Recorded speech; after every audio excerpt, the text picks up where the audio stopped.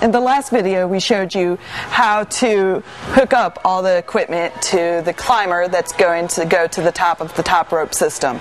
And now we're actually going to climb to the top, and I will be belaying Amanda. And again, we want to go through safety and voice commands. So, Can I fly? yes, you may. And as Amanda's climbing, as you can see with my hands, I'm taking up the slack here which is very important to do in rock climbing. And again, as you notice, my hand's never leaving this brake line.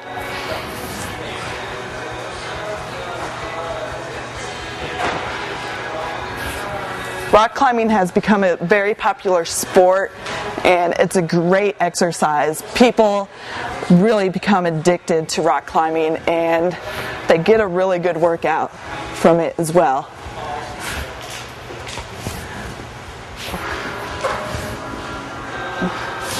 So now that Amanda's to the top, I am going to make sure the rope is nice and tight, and I'm going to pull off on this brake line and hold it back behind my hip so it's nice and secure. And she has, she can just sit in her harness there while she takes the rope and puts it over the top of the bar.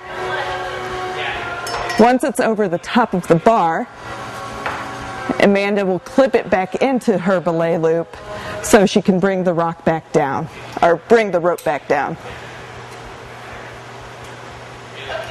All right, Amanda's ready to lower. So with the GriGri system here, it's just a matter of physics and friction. I pull back on this lever and I slowly release the rope back through the system so Amanda can come down. When Amanda comes down, she doesn't necessarily want to hold on to the rocks. She can just sit back in her harness and I'll lower her down like so.